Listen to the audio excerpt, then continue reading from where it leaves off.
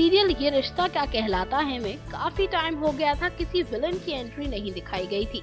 कोई ऐसा विलन जो लगातार घर के अंदर फूट डलवाने के लिए कोई ना कोई ड्रामा करे नई नई साजिशें रचे।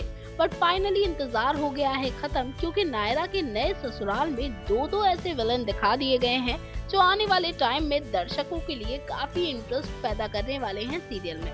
कल हम बात कर रहे हैं कार्तिक के चाचा चाची, यानी कि अखिलेश और सुरेखा के बारे में, जो कि घर में बहुत ड्रामा करेंगे आने वाले एपिसोड्स में। फ़िलहाल तो उन्होंने ड्रामे की शुरुआत की है एंगेजमेंट रिंग के साथ, जहाँ नायरा के लिए जो अंगूठी आई है, वो है नकली हीरे की, जबकि जो अंगूठी नैतिक जी लाए हैं अपने जमाई राजा के लिए, वो है रियल डायमंड वेल इस रियल डायमंड ने काफ़ी ज़्यादा मुश्किल खड़ी कर दी है कार्तिक के डैड मनीष के लिए। अब चाचा चाची ने तो ये ड्रामा इसलिए किया था ताकि मनीष का नाम हो जाए खराब।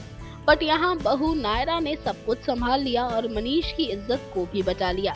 बट अभी घर वाले कार्तिक नायरा सब लोग इस बात से अनजान हैं कि अखिलेश और सुरेखा ने ये सब जानबूझकर किया था।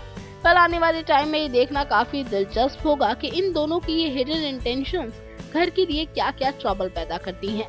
टॉप न्यूज़ से दीक्षा की रिपोर्ट